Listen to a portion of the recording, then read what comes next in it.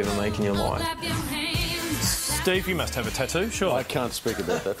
I can't reveal it. What's that Ruby Rose woman doing then, suggesting kids go out and do it? She's got a lot to answer for, hasn't Does she ever? That is dreadful. She's just Ruby Rose. You don't have to call that Ruby Rose woman. I don't like what she's saying. All right, we got two tattoos on the desk. though. You both got great. tats. Um, Who's your tat? I've got a look. I, I, I got a tat because my wife, no, my girl, my girlfriend at the